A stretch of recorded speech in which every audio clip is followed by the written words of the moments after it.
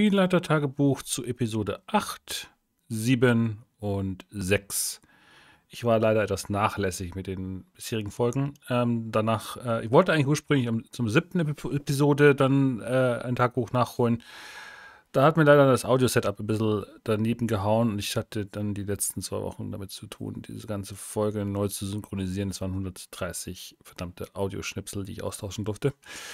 Aber ich wollte gerne, dass diese Folge äh, existiert. Ähm, also nochmal kurz zur Rekapitulation. Wir hatten in Episode 6 den großartigen Schaukampf zwischen Grimwald und Gutham und dieser ganzen Situation, dass sie versucht haben, irgendwie daraus schlau zu werden, wer hier eigentlich das Sagen hat, wer hat welche Agendas in Bernstein-Gipfel. Und ich war dann sehr stolz darüber, als dann die Spielenden meinten, wir haben jetzt verdammt nochmal keine Ahnung, auf wen wir hier eigentlich vertrauen dürfen und wer hier eigentlich äh, uns belügt und äh, über den Tisch ziehen möchte. Äh, besonders die Sache mit der Geschichte mit dem, mit dem Ei, was ich ja dann auch in Episode 7 weiter ausgeholt habe. Die Folge, die ich jetzt mittlerweile auswendig kann, nach diesem ganzen Geschnipsel.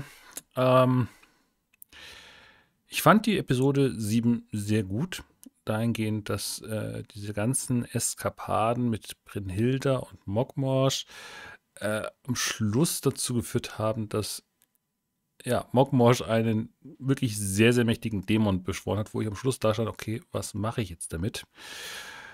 Und ich nur heilensfroh war, als äh, bei dieser, wir würfeln uns eine Dämon-Tabelle, dann rauskam, okay, er ist ein Gestaltwandler. Das heißt, dieser Dämon darf ein Mensch, darf auch menschliche Gestalt anziehen. Da war ich so da, okay, dann ist das jetzt hier, äh, und das war auch ein Feuerdämon. Das heißt, äh, Brynhilda und er äh, waren voll auf derselben Wellenlänge. Deswegen hat das auch sehr gut gepasst. Und als ich diese schöne Aussage bekam von äh, Valodan, äh, ich beschwöre jetzt einen Regensturm und ich dann gesagt habe, okay, es ist aber fast Winter, also es würde wahrscheinlich ein Blizzard werden. Und dann Ja gesagt hat, war ich sehr, sehr froh, weil dann konnte ich, äh, konnte man so hier eins und eins zusammenzählen. Die Feuerdämonen äh, multiplizieren ihre Kräfte. Diese ganze Geschichte war sehr obskur, weil ja in den Beschreibungstexten drin steht, dass Zetraume mit Brynhilda ja paktiert. Das äh, wissen auch äh, in gewissem Grade jetzt die Charaktere, weil dieser Pakt jetzt so gesehen aufgelöst ist. Und der Pakt zwischen Zetome war ja, dass er sein Gesicht hergibt dafür, dass ihm Brynhilda Feuermagie beibringt und ihm Dämonenessenz gibt. Und damit diese Dämonenessenz existieren kann, steht hier auch mehr da drin, äh, ist dieser Dämon hier äh, auf maximale sexuelle Lust ausgelegt. Womit ich ganz froh war, dass wir da vorher definiert hatten, wie das zu spielen ist. Weil so etwas möchte man nicht ohne Lines in Wales spielen. Ganz ehrlich. man möchte sowas vorher geklärt haben, wie das äh, ausgehen wird. Und ich denke, das war ein ganz guter Kompromiss, um festzustellen, okay, das hier ist äh, jetzt nicht unbedingt für Kinder, Teenager vielleicht schon, aber ansonsten mehr nicht. Ähm, ja. Und dann war die ganze Geschichte ja so ganz gut definiert. Ähm, ich bin froh, dass ich Mirigal so jetzt platziert habe als mysteriöse Person, die immer wieder lustige Andeutungen macht. Ich habe mir das ja letztendlich auch so gedacht, dass zum Beispiel das Geistermädchen ja regelmäßig äh, für sie die Gruppe spioniert. Und das wissen die Charaktere nicht. Das ist auch, äh, aber so ergibt das alles kohärent Sinn. Das ist nämlich wichtig. Ähm, weil Merigal ist nicht allwissend. Merigal weiß halt viel, weil Merigal einfach sehr gut vernetzt ist. Zetorme wird dahingehend noch eine sehr interessante Person sein und deswegen wird dieses Video auch, ähm, sage ich, was Zetorme für, eine, für eine Agenda hat? Nein, ich lasse es lieber bleiben. Dann kann ich nämlich dieses Video hier früher veröffentlichen, weil diese Agenda wird viel, viel später äh, in, zum Tragen kommen. Ähm, die Charaktere sind jetzt eh sehr, sehr mächtig geworden durch die ganzen Erfahrungspunkte und der Möglichkeit, hier eben auf einen Zauberer zuzugreifen. Deswegen ist jetzt auch meine Planung, ähm, dafür zu sorgen, dass Zetorm jetzt den Bernsteingipfel verlässt. Hat einen ganz einfachen Grund. Ähm, wenn ich jetzt die, Zau die Zauberer sind jetzt sehr, sehr fähig. Also gerade Mokmosch, der jetzt in der Lage war, in Episode 8 und auch schon Episode 7 Untote zu erschaffen Ähm, da muss ich jetzt aufpassen, dass das jetzt nicht zu sehr überhand nimmt und sie am Schluss mit einer äh, Zombie-Armee durch die Lande ziehen. Das wäre ein bisschen imbalanced aus meiner Perspektive. Deswegen ist auch meine persönliche Planung zu schauen, dass ich diesen jetzigen Zombie aus Episode 8 irgendwo in den Steinschimmerminen loswerde. Das ist jetzt mal die erste Planung von meiner Seite. Es wird auf jeden Fall eine sehr gruselige Episode, die nächste, weil die Steinschimmerminen eben sehr viel mit diesem Kinderhorror spielen. Also gerade äh, Maga ist nicht mehr das, was sie mal war. Maga war ein Kind, als sie in diesen Minen war und sie ist äh, dabei von diesem Dämon besessen worden und dieser Dämon und dieses Kind sind so gesehen jetzt mehr, äh, mehr oder minder eine Person. Und wenn man nicht mager freundlich stimmt, dann bringt sie einen sehr schnell um. Und das wird auch interessant, weil in diesen Höhlen existieren auch Echsenmenschen und eine gewisse Delegation an Zwergen, die sich in einen dieser Minenschächte verbarrikadiert haben. Das werde ich gerne spielen wollen. Das ist so mein persönlicher Plan, dass ich hier an der Stelle jetzt mal die Zwergendelegation einführe. Ähm, ungeplant war diese Geschichte eben mit dem Ork, aber das hat sich gut gefunden, dass Gisela da gerne jetzt äh, rausfinden wollte, wo eben das Auge der Rose ist, weil sie ja immer noch diese äh, Legenden gehört haben über einen Ork-Verband, der ja in Betterstein war. Meine Planung war auch, ich habe mit meinen Spielenden auch geredet. Wir werden wahrscheinlich jetzt die Frostweitenerweiterung mit in die Kampagne integrieren. Und da wird diese ganze Org-Geschichte für mich relevant werden, weil ich werde diese Org-Geschichte nutzen. Ich habe die Orks mit Auge der Rose ganz bewusst jetzt Richtung Norden auf der Karte verschoben, um damit einen Hook Richtung Frostweiten zu machen. Und der Hook wird dahingehend sein, dass eben eins dieser Artefakte, die sie für die Kampagne Zorn des Raben brauchen, dieses Artefakt wandert mit diesem Ork-Abenteuertrupp um äh, den Ork-Druiden Gritch, äh, wird so gesehen Richtung Frostweiten ziehen. Das hat, passt sehr gut, weil die Orks in den Frostweiten äh, eine eigene Heimat sehen und wenn die Charaktere so gesehen die Kampagne zu den Frostweiten und den Winterelfenkönig Fehrenblaut lösen, könnte man damit dann argumentieren, okay, und dann kriegt ihr das Artefakt für Zorn des Raben wieder. Und damit kommen wir, äh, kriegen wir dann die, den Rückverlauf, wie sie wieder aus den Frostweiten zurückkommen. Das ist so die Planung, die sehr, sehr langfristige Planung, wo diese Kampagne hingehen soll.